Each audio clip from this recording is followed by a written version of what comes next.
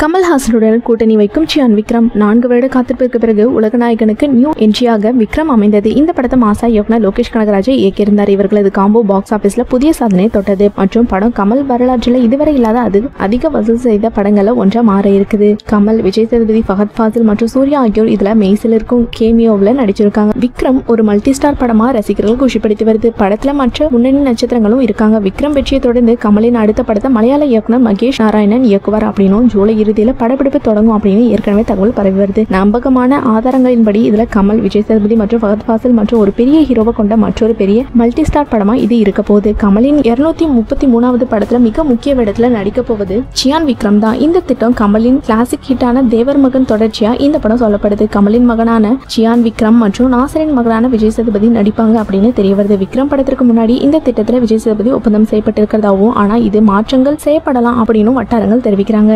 ஏழாவது முறையாக அஜித்துடன் இணைந்த பிரபல தொழில்நுட்ப கலைஞர் அஜித் நடிப்பில் பல ரசிகர்களின் எதிர்பார்ப்புக்கு இடையில கடந்த பிப்ரவரி மாதம் இருபத்தி நான்காம் தேதி வலிமை திரைப்படம் வெளிவந்தது. வலிமை திரைப்படம் ரசிகர்களிடையே பெரும் வரவேற்பை பெற்றது. குறிப்பா பைக் ஸ்டைன் காட்சிகளுக்கும் சென்டிமெண்ட் காட்சிகளுக்கும் பெரும் ரசிகர்கள் கூடினாங்க. வலிமை திரைப்படம் உலக அளவில் இருநூறு கோடிக்கு மேல பாக்ஸ் ஆபீஸ்ல வசூல் செய்தது குறிப்பிடத்தக்கது. நேர்கொண்ட பார்வை வலிமை படங்களின் வெற்றிக்கு பின் நடிகர் அஜித் குமார் ஹெச் வினோத் போனி கபூர் மூன்றாவது முறையை இணையும் ஏகே சிக்ஸ்டி ஒன் படத்தின் திட்டம் ஒரு ஆண்டுக்கு முன்னாடி முடிவு செய்யப்பட்டது. வலிமை படத்தை தொடர்ந்து அஜித் குமாரின் அறுபத்தோராவது படம் துவங்கியிருக்கு. வலிமை படத்தின் மாபெரும் வெற்றிக்கு பின் ஏகே சிக்ஸ்டி ஒன் படத்தின் பூஜை கடந்த மாசம் ஏப்ரல் பதினொன்று அன்று காலை ஒன்பது ஒன்னுக்கு ஹைதராபாத்ல இருக்க ராமோஜிரா பிலிம் சிட்டில நடைபெற்றது. இந்த ஏகே சிக்ஸ்டி ஒன் படத்தில் ஒளிப்பதிவாளராக நிரவ் ஷா பணியாற்றாரு நேர்கொண்ட பார்வை வலிமை படங்களை அடுத்து தொடர்ந்து மூன்றாவது முறையாக அஜித் ஹெச் வினோத்துடன் இணைகிறாரு ராமோஜிரா பிலிம் சிட்டில ஏகே சிக்ஸ்டி ஒன் படத்தின் படப்பிடிப்பு நடைபெற்று வருது. இந்த படத்தில் நடிகை மஞ்சு வாரியர் முக்கிய கதாபாத்திரத்தில் நடிக்கிறாங்க. சர்பட்டா பரம்பரை படத்தில் வேம்புலி கதாபாத்திரத்தில் நடிச்ச ஜான் கோக்கன் இந்த ஏகே சிக்ஸ்டி ஒன் படத்திலையும் நடிச்சிட்டு வராரு. பிரபல இளம் தமிழ் சினிமா நடிகர் வீராவும் ஏகே சிக்ஸ்டி ஒன் படத்தில் நடிப்பதை உறுதி செஞ்சிருக்காரு. பிரபல கலை இயக்குனர்